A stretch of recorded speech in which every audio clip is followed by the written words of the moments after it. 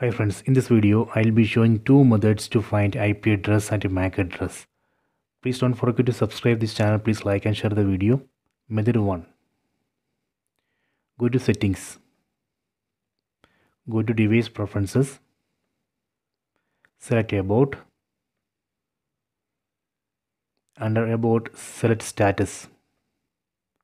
And here we can see IP address 192.168.1.6 and this is a MAC address so this is a method 1 let me go to method 2 go back go back to home screen. Method 2 again go to settings. Select network and internet. Select connected Wi-Fi network. And here we can see IP address 192.168.1.6 this is a MAC address. So these are the two methods to find IP address and MAC address I hope you have enjoyed this video. Please take it.